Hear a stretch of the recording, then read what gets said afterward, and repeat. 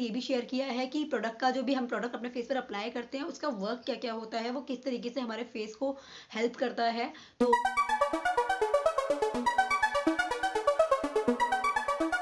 welcome back to my channel मैं हूँ सोनम, कैसे हो आप सब? Hope you all doing well तो गाइस आज की वीडियो में मैं आपके लिए लेकर आई हूँ मेकअप के स्टेप्स कि हमें मेकअप में सबसे पहले क्या अप्लाई करना चाहिए देन इसके बाद में हमें क्या अप्लाई करना चाहिए। गाइस बिगिनर्स की मोस्टली ये प्रॉब्लम्स होती है कि उन्हें काफ़ी टाइम में ये समझ में नहीं आता है या फिर मेकअप करना हम जब सीख रहे होते हैं इनफैक्ट जब मैं मेकअप करना सीख रही थी तो मैं मोस्टली वीडियोज़ को देखकर ही सीख रही थी कि हाँ मुझे इस मेकअप के बाद क्या अप्लाई करना चाहिए, इस प्रोडक्ट के बाद में क्या अप्लाई करना चाहिए। काफ़ी कन्फ्यूज़न होता है कि हमें इस प्रोडक्ट के बाद में क्या अप्लाई करना चाहिए। तो मैं, इसलिए मैंने सोचा कि क्यों ना मैं इसके लिए एक सेपरेट वीडियो आपके साथ शेयर करूँ कि मेकअप के सारे स्टेप्स क्या होते हैं देन किस प्रोडक्ट के बाद में क्या अप्लाई करना इंपॉर्टेंट होता है। और देन मैंने इस वीडियो में ये भी शेयर किया है कि प्रोडक्ट का जो भी हम प्रोडक्ट अपने फेस पर अप्लाई करते हैं, उसका वर्क क्या क्या होता है, वो किस तरीके से हमारे फेस को हेल्प करता है। तो इसीलिए गाइज़ ये वीडियो सिर्फ़ आपके लिए मैं लेकर आई हूँ।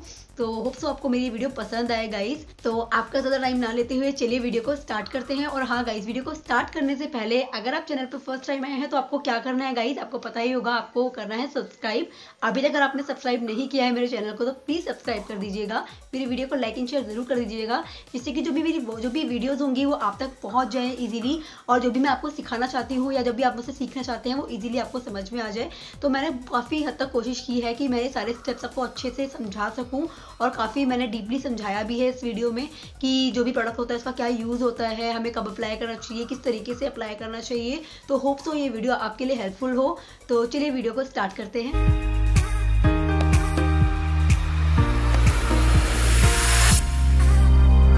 को अच्छे से क्लीन कर लिया है अपने फेस वॉश से तो सबसे पहले यहाँ पर अपने फेस को हमें मेकअप के लिए रेडी करना होता है। वो कैसे गाइस सी हमें फॉलो करना होता है। क्लींजिंग टोनर मॉइस्चराइजिंग तो यहाँ पर क्लींजिंग मैंने कर ली है अपने फेस को फेस वॉश से क्लीन करके। अब मैं टोनर अप्लाई करूँगी। तो कह सकते हैं अगर आपकी स्किन टाइप ड्राई है ऑयली है या फिर नॉर्मल है, आप अपने स्किन टाइप के अकॉर्डिंग कोई भी प्रोडक्ट यूज़ कर सकते हैं। सो या गाइस फेस को क्लीन कर लेने के बाद जो हमारे पोर्स होते हैं, वो ओपन हो जाते हैं। तो इसी वजह से हमें टोनर का अप्लाई करना होता है, जिससे कि हमारे पोर्स हैं, वो अच्छे से क्लोज हो जाए। और उसके बाद जो भी प्रोडक्ट हम अपने फेस पर लगाए तो वो बिल्कुल भी पैचीनेस ना हो हमारे फेस पर। तो हमने, मैंने यहाँ पर अपने फेस को क्लीन कर लिया है। अब नेक्स्ट मैं यहाँ पर अपने फेस पर टोनर अप्लाई करूँगी। टोनर जो मैं यहाँ पर यूज़ कर रही हूँ गाइस यहाँ पर मैं रोज़ वाटर यूज़ कर रही हूँ। ये बहुत अच्छा टोनर है। तो यहाँ पर मैं अपने फेस को टोन करने के लिए गुलाब जल यूज़ कर रही हूँ एज अ टोनर तो अगर आपके पास कोई भी गुलाब जल है तो आप उसे अप्लाई कर सकते हैं एज अ टोनर मैं गुलाब जल यूज़ कर रही हूँ। ये स्प्रे बॉटल में है बट अगर आपके पास स्प्रे बॉटल नहीं है तो आप इसे ईजिली कॉटन में लेकर अपने फेस को अच्छे से वाइप कर लें। तो मैं इसे अप्लाई कर लूँगी।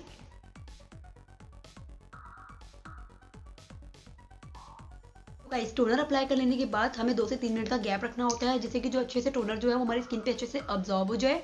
तो यहाँ पर मैं दो से तीन मिनट का गैप रखूँगी। सो या गाइस टोनर हमने अप्लाई कर लिया है। वो बहुत इजीली अब्जॉर्ब भी हो गया है हमारी स्किन पर। तो नेक्स्ट इसके बाद हमें अप्लाई करना है मॉइस्चराइजर गाइस मॉइस्चराइजर जो है, वो काफ़ी टाइप के आते हैं। अगर आपकी स्किन ड्राई हो नॉर्मल हो मीडियम हो तो आप अपना स्किन टाइप के अकॉर्डिंग कोई भी मॉइस्चराइजर यूज़ कर सकते हैं। तो गाइस मैं मॉइस्चराइजर में डिफरेंस आपको बता देती हूँ कि अगर आपकी स्किन ऑयली है तो जो मॉइस्चराइजर की कंसिस्टेंसी होगी, वो काफ़ी थिक होगी। एंड अगर आपकी स्किन जो है, वो बहुत ज़्यादा ड्राई है तो वो काफ़ी लिक्विड में होगा लिक्विड ही होगा, जिससे कि जो अच्छे से फेस को मॉइस्चराइज कर दे। तो गाइज़ देखिए मॉइस्चराइज़र जो है, ये काफ़ी थिन है, इसकी बहुत ही लाइट है ये। जिससे कि जो मेरी स्किन ड्राई है, ये मेरी स्किन को बहुत अच्छे से हाइड्रेट कर देगा। तो आपकी स्किन टाइप जो भी है, आप अपने स्किन टाइप के अकॉर्डिंग कोई भी अच्छा मॉइस्चराइज़र यूज़ कर सकते हैं।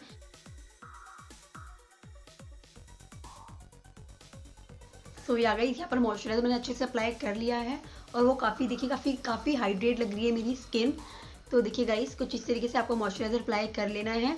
अब नेक्स्ट मैं यहाँ पर लिप बाम अप्लाई कर लेती हूँ, जिससे कि जब मैं लिपस्टिक अप्लाई करूँ तो मेरे जो लिप्स है वो अच्छे से सॉफ्ट हो जाए। लिप बाम के लिए मैं यहाँ पर यूज़ कर रही हूँ बोरो प्लस तो आपको जो भी लिप बाम अच्छी लगे, आप उसे अप्लाई कर सकते हैं। अब नेक्स्ट मैंने यहाँ पर क्लींजिंग कर ली थी टोनर भी कर लिया है मॉइस्चराइजर भी अप्लाई कर लिया है। अब नेक्स्ट मैं यहाँ पर गाइस मेरी स्किन जो है वो काफ़ी ड्राई है। तो इसलिए मैं यहाँ पर ऑयल का यूज़ करूँगी। तो मैं यहाँ पर सिरम अप्लाई कर रही हूँ अपने फेस पर। सिरम वाइस सिरम जो मैं यहाँ पर यूज़ कर रही हूँ गुड वाइब्स का रोशिप सिरम यूज़ कर रही हूँ। गाइस देखिए, अगर आपकी स्किन बहुत ज़्यादा ड्राई है तो आप कोई भी फेशियल ऑयल या फिर सिरम यूज़ कर सकते हैं। उसे बिल्कुल भी स्किप ना करें। बिकॉज़ जब हम कोई भी फाउंडेशन अपने फेस पर अप्लाई करते हैं तो आपने देखा होगा, अपने इस वाले एरिए पर काफ़ी ड्राई ड्राई पैचेज हो जाते हैं और हमारा जो फाउंडेशन है वो उस जगह पर या तो काफ़ी ज़्यादा लग जाता है या फिर वहाँ से हट जाता है। तो इस वजह से सबसे इंपॉर्टेंट पार्ट है कि अपने फेस को मेकअप के लिए रेडी करना, यानी कि अपने फेस को हाइड्रेट करना। तो यहाँ पर मैं सिरम अप्लाई कर लूँगी।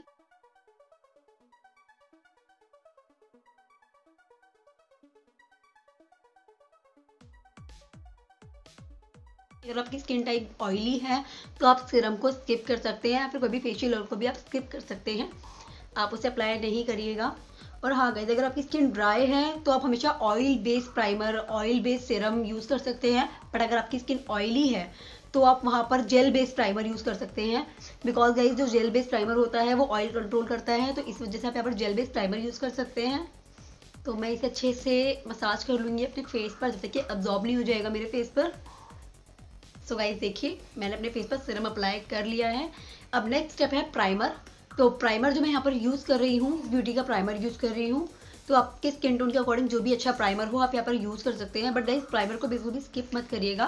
बिकॉज़ प्राइमर का क्या काम होता है गाइस प्राइमर जो होता है हमारे स्किन को प्रोटेक्ट करता है हार्मफुल प्रोडक्ट से। और हमारा मेकअप जो होता है वो काफ़ी लॉन्ग लास्टिंग बनाता है। बिकॉज़ जो हमारा टी जोन एरिया होता है गाइस हमें इसे टी जोन एरिया में अप्लाई करना होता है। बिकॉज़ हमारा टी जोन एरिया होता है, यहाँ पर ओपन पोर्स की प्रॉब्लम ज़्यादा होती है। जब भी हम अपना कोई भी फाउंडेशन अप्लाई करते हैं या फिर कोई बीबी क्रीम या सीसी क्रीम अप्लाई करते हैं तो यहाँ से जो हमारे ओपन पोर्स पर वो भर जाती है अंदर की तरफ़ पर। तो इसलिए हमारे मेन हमें सबसे इंपॉर्टेंट है अपने पोर्स को क्लोज करना। बिकॉज़ पोर्स क्लोज हो जाएँगे तो हमारा फाउंडेशन जो होगा वो बिल्कुल भी केकी या फिर बिल्कुल भी पैची नहीं लगेगा। तो सो गाइस देखिए, यहाँ पर हमने सी टी एम कंप्लीट कर लिया है, हमने सिरम भी अप्लाई कर लिया है प्राइमर भी अप्लाई कर लिया है। अब नेक्स्ट हम यहाँ पर अपने फेस पर फाउंडेशन अप्लाई कर सकते हैं बिकॉज़ हमारा फेस रेडी हो चुका है फाउंडेशन के लिए। अब हम अपने फेस पर जो भी फाउंडेशन अप्लाई करेंगे बिल्कुल भी केकी या फिर पैची नहीं लगेगा। तो इसीलिए मैं यहाँ पर फाउंडेशन अप्लाई करूँगी। तो गाइस अगर आपकी स्किन ड्राई है तो आप यहाँ पर इस तरीके के लिक्विड फाउंडेशन यूज़ कर सकते हैं। और अगर आपकी स्किन ऑयली है तो आप यहाँ पर इस तरीके की स्टिक्स यूज़ कर सकते हैं बिकॉज़ ये ऑयल कंट्रोल होती हैं। आप अपने अकॉर्डिंग कोई भी अच्छा फाउंडेशन यूज़ कर सकते हैं। तो यहाँ पर मैं यूज़ कर रही हूँ स्विस ब्यूटी का फाउंडेशन और इसे मैं ब्लेंड कर लूँगी कुछ इस तरीके के ब्यूटी ब्लेंडर से।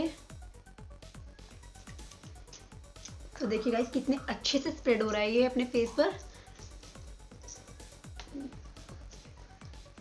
सो गाइज़ देखिए मैंने यहाँ पर डायरेक्ट अपने फेस पर फाउंडेशन अप्लाई कर लिया है। बट यहाँ पर देखिए मैं आपको डिफरेंस बताना चाहूँगी कि अगर हम मैंने अपने हाफ़ फेस पर फाउंडेशन अप्लाई किया है बिकॉज़ मैंने डायरेक्ट फाउंडेशन अप्लाई किया है बट हाँ अगर आपके डार्क सर्कल्स हैं पिगमेंटेशन है तो आपको यहाँ पर ऑरेंज करेक्टर यूज़ करना है। कि अगर आप ऑरेंज करेक्टर यूज़ करोगे तो वो जो भी पिगमेंटेशन होगी वो अच्छे से हाइड हो जाएगी। देन उसके ऊपर फाउंडेशन अप्लाई करोगे तो वो जो आपका अंदर से पिगमेंटेशन होगी डार्क सर्कल्स होगी, वो बिल्कुल भी विजिबल नहीं होंगे। एंड अगर आपके पिंपल है या फिर फेस पर रेडनेस है तो आप यहाँ पर ग्रीन करेक्टर यूज़ कर सकते हैं।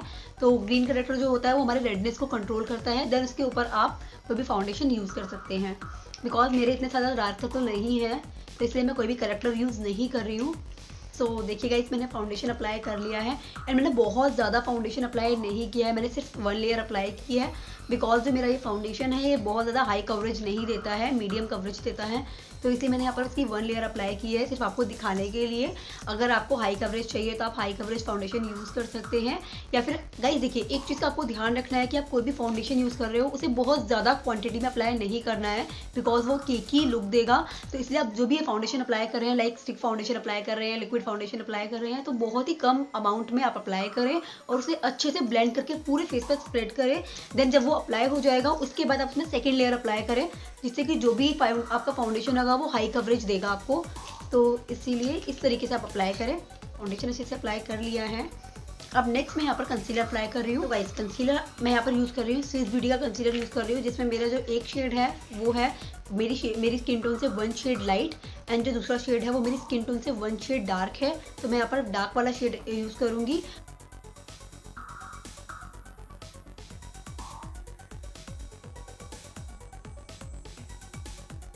तो वैसे आप, आप अगर एक अच्छा कंसीलर सर्च कर रहे हैं कि कोई भी ऐसा अच्छा कंसीलर आप सर्च कर रहे हैं जो बहुत ज़्यादा कॉस्टली हो तो आप कॉस्टली पे मत जाना। आप स्विस ब्यूटी का कंसीलर ट्राई कर सकते हैं गाइस ट्रस्ट मी ये बहुत अच्छा कंसीलर है बहुत ही अफोर्डेबल है। एंड इसकी जो फिनिशिंग है गाइस बहुत अच्छी फिनिशिंग है इसकी। तो आप सिर्फ़ ट्राई कर सकते हैं। मैं मोस्टली वीडियोज़ अगर आप मेरी वीडियोज़ देखते होंगे गाइस तो मैं मोस्टली स्विस ब्यूटी का कंसीलर ही यूज़ करती हूँ। स्टिक कंसीलर मैं बहुत कम यूज़ करती हूँ। क्या है? अब नेक्स्ट यहाँ पर हमें क्या करना होता है गाइस अपने जो हमें हमने अपने फेस पर बेस मेकअप किया है लाइक कंसीलर अप्लाई किया है फाउंडेशन अप्लाई किया है, इसे लॉक करना।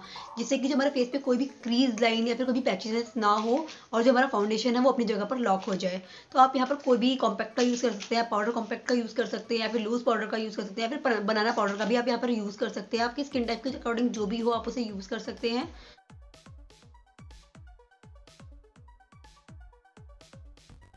उसको फिल करने के लिए मैं यहाँ पर यूज़ कर रही हूँ मार्स का जेल ब्राउज फिलिंग तो आपको जो भी आपके अकॉर्डिंग अच्छा लगे, कोई भी ब्राउन पेंसिल भी आप यूज़ कर सकते हैं डार्क ब्राउन पेंसिल भी यूज़ कर सकते हैं, या फिर जेल लाइनर भी यूज़ कर सकते हैं, कुछ भी यूज़ कर सकते हैं गाइस सो या गाइस मैंने अपने ब्राउज को अच्छे से फिल कर लिया है। अब नेक्स्ट स्टेप है, यहाँ पर मैं लाइनर अप्लाई कर रही हूँ बिकॉज़ मैं कोई भी आज आई मेकअप नहीं कर रही हूँ। बिकॉज़ मैंने जो आज वीडियो शेयर किया था आपके साथ में, वो स्टेप बाय स्टेप हम क्या मेकअप पे अप्लाई करना चाहिए और कैसे कैसे में अप्लाई करना चाहिए, किस प्रोडक्ट के बाद में क्या चीज़ अप्लाई करनी चाहिए।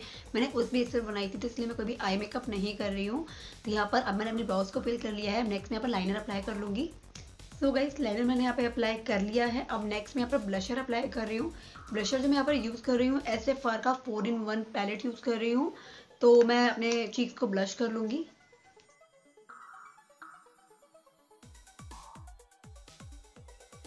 और हाँ गाइज़ लाइनर अगर आपको अप्लाई करना नहीं आता है, अगर आप बिगिनर हैं तो मैंने इसके ऊपर एक सेपरेट वीडियो शेयर किया हुआ है। आप मेरे चैनल पे जाकर देख सकते हैं। यहाँ पर ब्लशर अप्लाई कर लिया है। अब नेक्स्ट गाइस मैं अपने फेस को कॉन्टोर करूँगी। कॉन्टोर कैसे करना है गाइस एक ब्राउन शेड लेना है डार्क ब्राउन शेड अगर आपके पास कॉन्टोर स्टिक नहीं है तो आप वहाँ पर आ, अपनी आई शेडो पैलेट से कोई भी डार्क ब्राउन शेड ले सकते हैं। एंड आप इस तरीके का पाउट बनाएँ। और ये जो लाइन जा रही है इस पर आप इस तरीके से कॉन्टोर अप्लाई करें। और इसे डाउनवर्ड डायरेक्शन में नहीं अपवर्ड डायरेक्शन में आपको ब्लेंड करना है। अपने फेस पर हाइलाइटर अप्लाई करना। तो हाइलाइटर जो मैं यहाँ पर यूज़ कर रही हूँ स्विस ब्यूटी का हाइलाइटर यूज़ कर रही हूँ।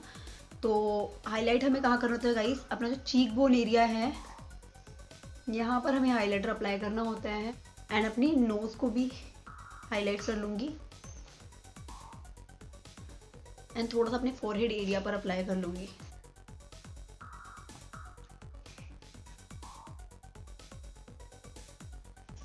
एंड मेकअप का लास्ट स्टेप लिपस्टिक तो यहाँ पर मैं लिपस्टिक अप्लाई कर दूँगी